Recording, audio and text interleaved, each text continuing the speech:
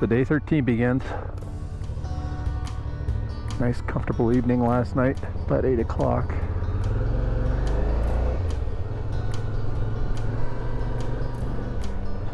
Heading towards Durango and Mesa Verde. They say it's supposed to snow possibly tonight. And then clear out, but the next couple nights supposed to be in the 20s.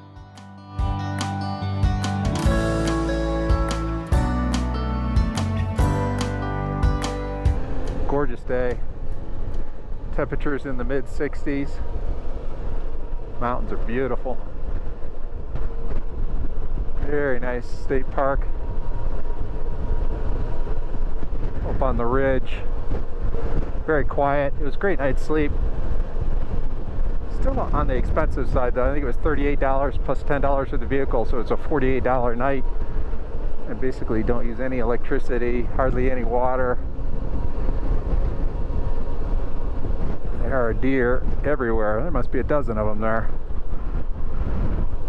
They have the grates to try to keep the animals off the highway. So they got a fence and then the grate where the vehicles pass over.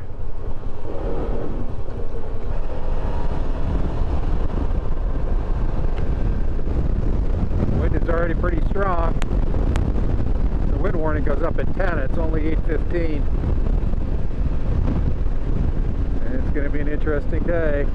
Telluride is very close by. I'm not going through it, but gives you some sense for this area, of Colorado. And it's pretty spectacular. The rock strata.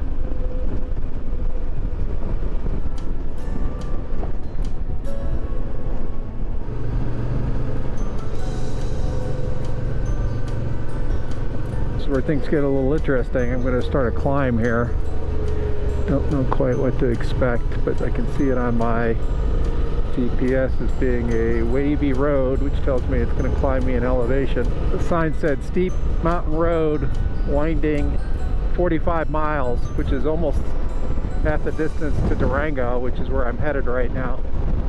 Just hope the winds aren't too bad up here because it said narrow shoulders and steep drop-offs. Well, I wanted the Rockies. I thought I was on the other side of them, but I guess not. That was intense riding with the drop-offs. I didn't take many pictures because I was uh, too focused on what I was doing. It's chilly up here too. Temperatures dropped to 48 degrees. Hopefully I'm over the pass and now I'm on my way down.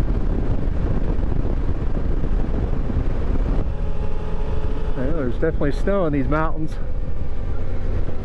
Temperature's 46. The roads seem to be fairly dry, so hopefully the traction's decent.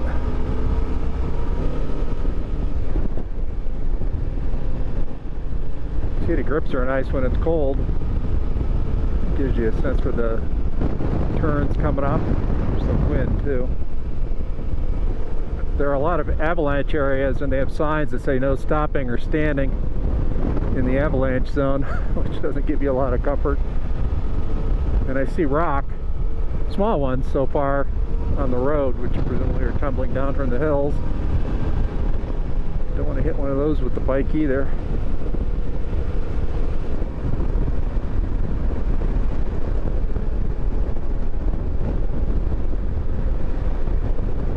headed down into that valley, I think.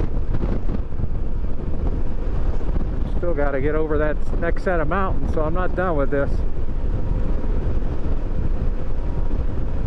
Got to turn on my electric uh, outfit here soon. It's 40 degrees.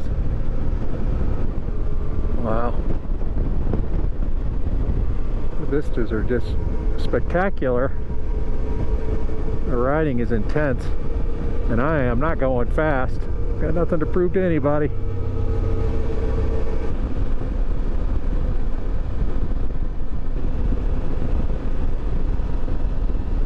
What a ride. Man. Turned into more sweepers right at the moment. Speed's picked up a little bit.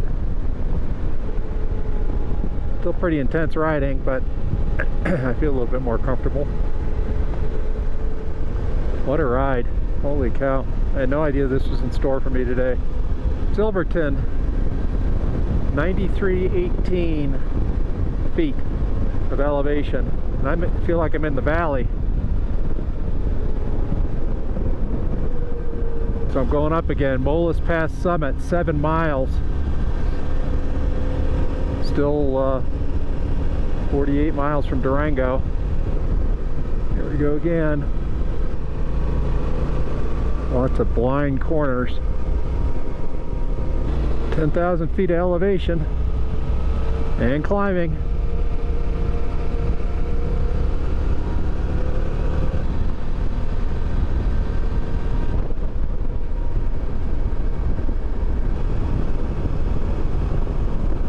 So I think that's Mol Molas Pass. 10,910 feet.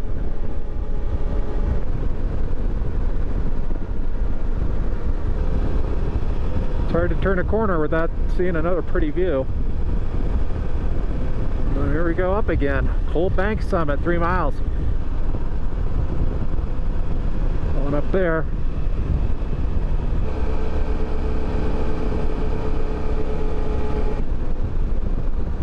Coal Bank Pass, 10,640 feet. Downgrade now for the next six miles a fascinating mountaintop there. Like a pyramid. Well, that was an interesting experience. I came across a uh, car accident where guys pulling a trailer with two cars on it went off the side of the road and went down the embankment probably 40 feet. They were both okay. They were both really shooken up had trouble getting back up to the road. I came upon the scene of the uh, accident after it had occurred. I didn't see it happen. There was already a police officer there. And we formed a uh, small chain of people to... Somebody had a strap. Here comes the fire department and the ambulance. We had a, a tie-down strap that they threw down the hill and then we held on to that and uh, formed a chain at the top to where we could get a, a grip and help the guys get up. Two guys were very shaken up, it's a, but it's amazing that they weren't hurt um, or even killed in that accident. It's going to take a crane to get that uh, pickup truck and the two cars out of there because it's, buried down there in the valley. And during Durango, going to head to Mesa Verde, which is 38 miles from here. Route 160 headed west towards Mesa Verde, about 22 miles from the national park. Mesa Verde National Park. It's here probably 50 years ago.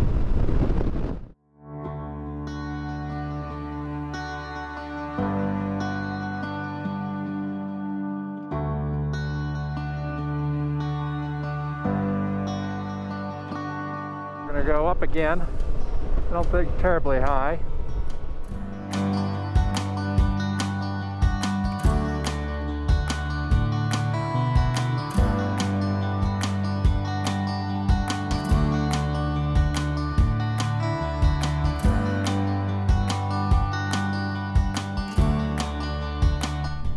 Apparently before the tunnel was built, the road used to come along this, they called it the knife's edge. They had trouble maintaining the road, no doubt.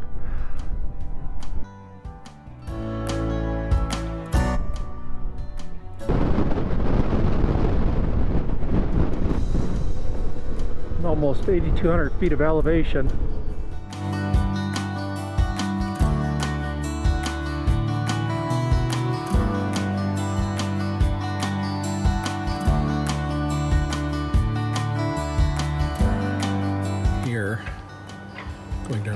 Going down to the Spruce Tree House.